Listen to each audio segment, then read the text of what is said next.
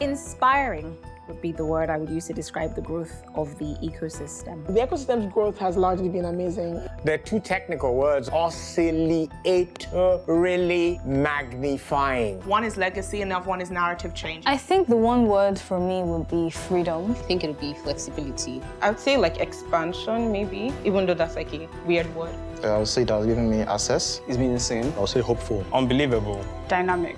One word, right? Access. Phenomenal. So the word is transformative. I'd say the sense of fulfillment. Energizing. Amazing. I'll say it has been exponential. Maybe I would use the word inspiring. Disruptive. For me, I would say growth. Impressive. Wild. Opportunity. Freedom for me. I'll say progressive. It's been inspirational for me. One word is sporadic. For me, it's been tremendous to see. I would say it's day one um, because we're, we're, just, we're just getting started.